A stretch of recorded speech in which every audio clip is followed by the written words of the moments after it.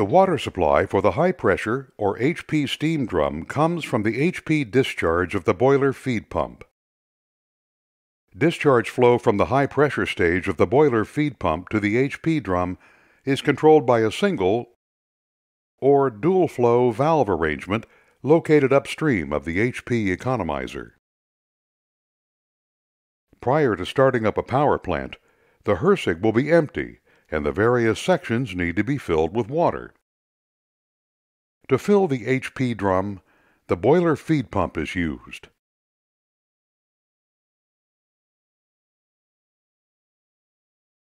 Prior to starting the pump, all drain valves on the HRSG economizers and evaporators should be closed.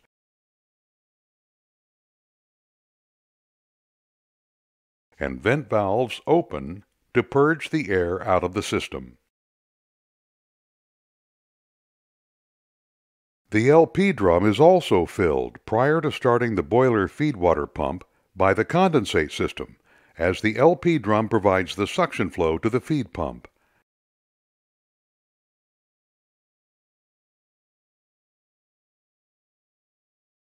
To start the pump, the recirculation valve should be 100% open and the downstream feed water regulating valves closed. Once the pump is started, a minimum flow rate as determined by the pump manufacturer will be established through the boiler feed pump recirculation valve to keep the pump cool. Feed pump suction pressure is 60 to 100 psig. Pump discharge pressures range from 2000 to 3500 psig and recirculates back to the low pressure drum. The recirculation valve will see cavitating pressure drop for its entire operating range. Once the feed pump operation is stabilized, the HP drum will be filled using the feedwater startup valve. The valve is sized to provide the flow rate required to fill the drum in the time specified by the plant designer. When the drum is empty, the pressure inside is atmospheric. The boiler feedwater pump will be at high discharge pressure, creating high differential pressure that can cause cavitation in the valve.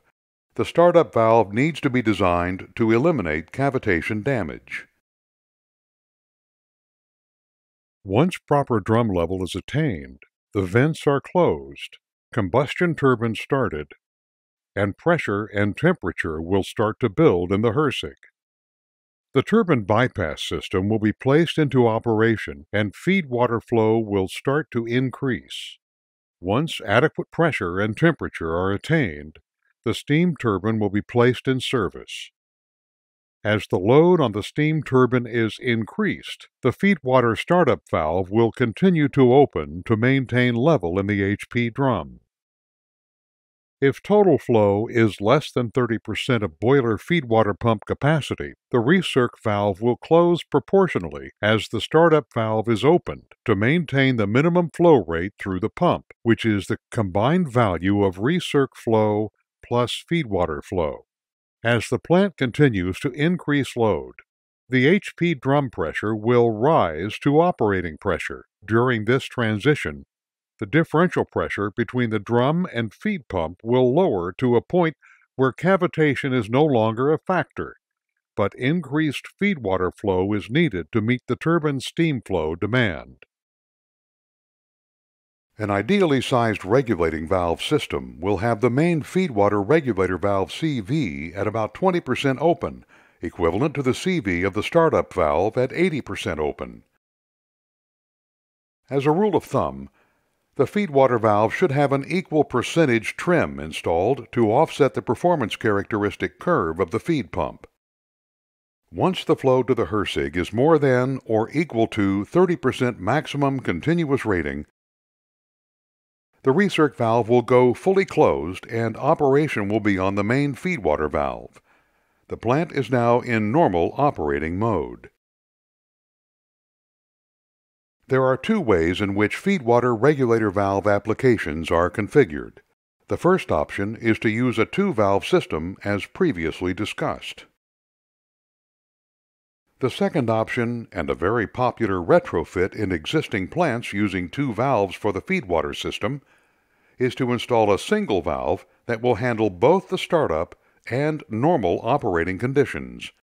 When a single valve is used, a special characterized cage is required to prevent cavitation damage. The lower travels of the cage use anti-cavitation trim for the startup and low load conditions. The higher travels of the cage use larger drilled holes or windows to provide the flow rates needed for normal operation. If a single valve is used, the DP between the pump discharge and drum needs to be monitored by the control system.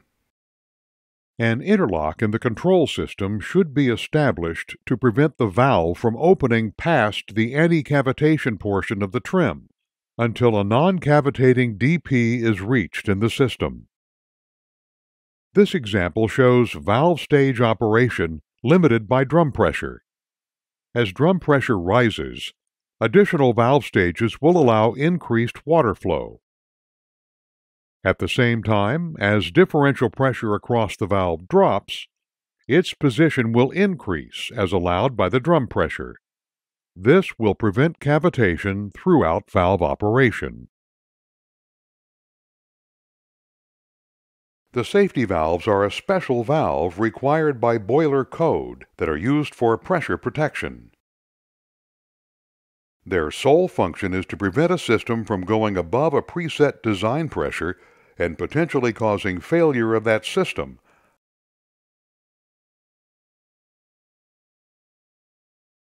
As part of maintaining proper water chemistry in the HRSG, chemicals are added to control parameters such as pH, dissolved O2, and others. As water turns to steam, these chemicals drop out, stay in the water, and can reach undesirable levels. The purpose of the continuous blowdown valve is to remove those impurities from the system. This is a harsh service due to the impurities including rust, scale, and excess chemicals that also flash to steam between the drum and the flash tank. Steam temperature is controlled using an attemperating system. It consists of a desuperheater, spray water valve, spray water block valve, and a strainer. The control system measures the temperature of the steam, compares it to set point, and then increases or decreases the spray water accordingly to maintain temperature set point. The desuperheater can be a ring or insertion style depending upon the water flow requirements. The spring-loaded nozzles in the desuperheater have relatively small passages and it is recommended that a strainer of suitable size for the nozzles be installed in the spray water line to prevent nozzle plugging. It is important that the spray water and block valve shut off tightly so that water does not leak into the steam line when it is not required, causing potential damage from thermal shock or efficiency losses from operating below steam temperature set point.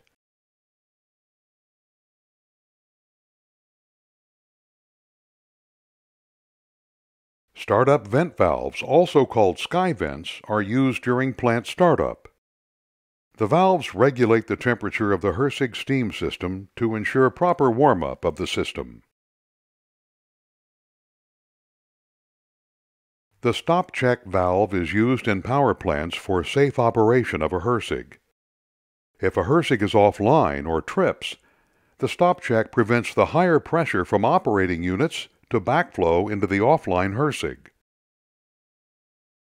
It combines the performance of an isolation and check valve into one unit.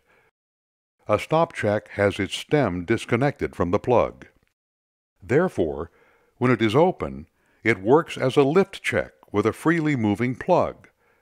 In forward flow, the plug will remain open. In reverse flow, the plug will slam closed, preventing backflow. A stop check valve is required by boiler code when two or more boilers are connected to a common header for safety, but should not be relied upon as the primary shutoff valve.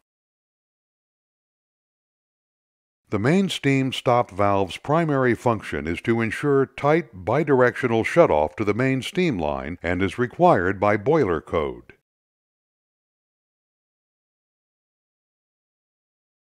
During a plant shutdown, steam production is gradually reduced and ultimately stopped.